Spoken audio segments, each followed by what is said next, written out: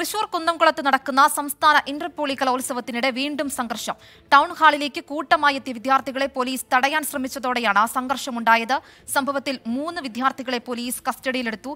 തൃശൂരിൽ നിന്നും സൂരജ് സജി ചേരുന്നുണ്ട്. സൂരജ് ഇന്നലെയും സമാനമായ രീതിയിൽ സംഘർഷമുണ്ടായിരുന്നല്ലോ. പിന്നീട് പോലീസ് സുരക്ഷ തന്നെ ശക്തമാക്കിയിരുന്നു. ഇതിന് പിന്നാലെ വീണ്ടും ഒരു സംഘർഷം ഉണ്ടായിരിക്കുന്നു ഇതിന് പിന്നിലെ കാരണം എന്താണ്? വിവരങ്ങൾ.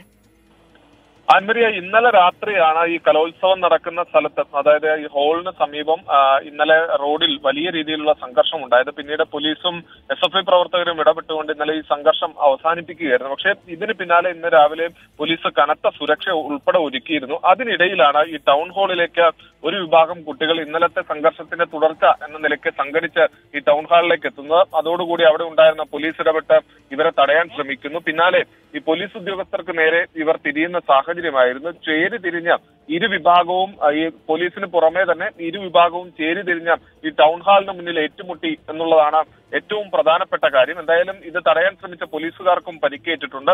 ഇന്നലെ ഉണ്ടായ സംഘർഷത്തിൽ എസ് എഫ് ഐ കേന്ദ്ര കമ്മിറ്റി അംഗം ഹസൻ മുബാറക്കിനടക്കം പരിക്കേൽക്കുന്ന ഒരു സാഹചര്യം ഉണ്ടായിരുന്നു ഇതിനിടയിലാണ് ഇന്ന് വീണ്ടും സംഘർഷം ഉണ്ടായിരിക്കുന്നത് ആൻമരിയ. ശരി. തൃശൂർ കുന്നംകുളത്ത് നടക്കുന്ന സംസ്ഥാന ഇന്റർപോളി കലോത്സവത്തിനിടെ വീണ്ടും സംഘർഷം വിവരങ്ങൾ നൽകുകയായിരുന്നു തൃശൂരിൽ നിന്നും സൂരജ് സജി.